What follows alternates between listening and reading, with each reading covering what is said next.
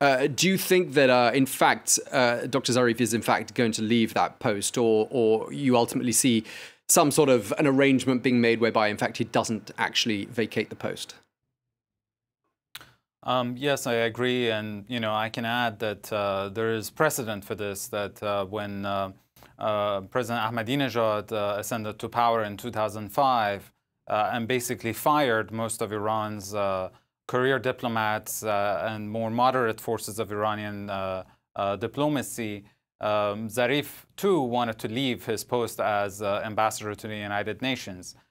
but he was forced to stay on for two years and defend uh, policies of President Ahmadinejad with whom he had very deep disagreements, uh, mostly because the supreme leader uh, asked him to stay on.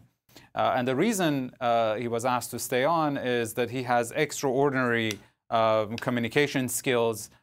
in order to basically shift the blame to the United States and drive a wedge between the US and its allies, especially the Europeans.